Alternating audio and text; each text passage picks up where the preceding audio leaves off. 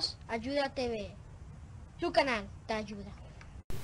¿Qué tal amigos? El día de hoy vamos a estar viendo una falla que sucede uh, no muy a menudo, pero sí sucede en los carros y es que se, se apaga a la hora de poner reversa y para eso vamos a estar comentando las fallas y vamos a dejar que el dueño de este carro nos explique un poco y luego vamos a estar comentando cuáles son las posibles fallas y soluciones a este problema.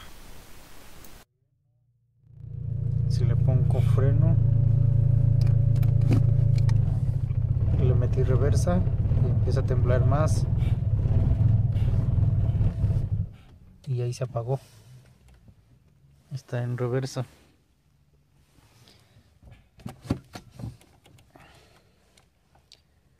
Lo vuelvo a prender. Es lo que hace. Le piso freno. Lo pongo en la reversa.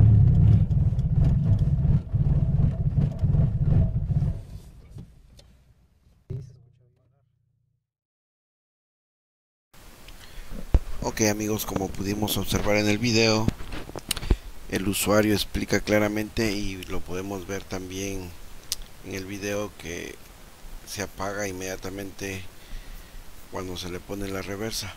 Bueno, en estos casos es muy importante contar con un escáner para así poder ponerle el escáner y ver qué código de referencia nos está dando y de esa forma podemos llegar a un diagnóstico pero si no contamos con un escáner entonces lo recomendable es que revisemos primero la batería que los cables de las baterías estén bien las terminales estén bien limpias también revisar el alternador el cable del alternador de alimentación.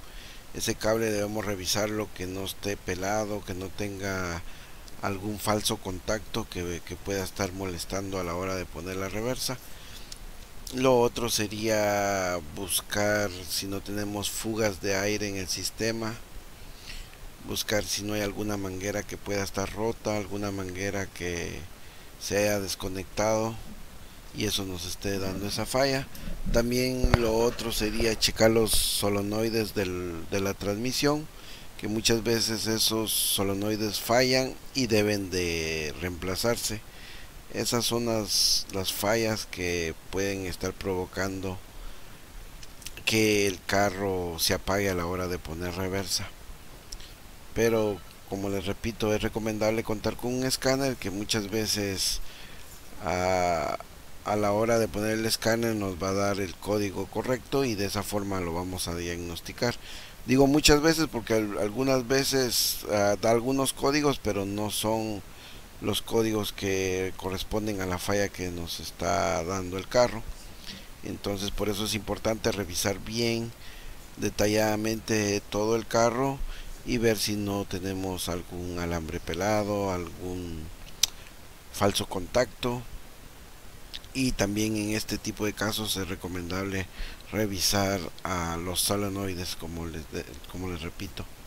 Así que espero que la información les sirva. Hay muchas personas que han entrado al canal con este mismo problema por eso ponemos los ejemplos para que puedan tener una idea de más o menos qué poder encontrarle al carro y poder diagnosticar la falla Así que es muy sencillo, solo deben de tener paciencia y hacer las cosas bien para que puedan arreglar el problema con su carro.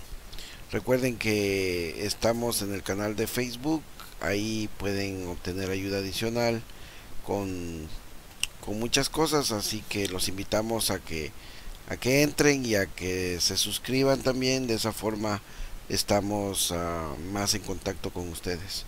Gracias amigos y nos vemos hasta la próxima.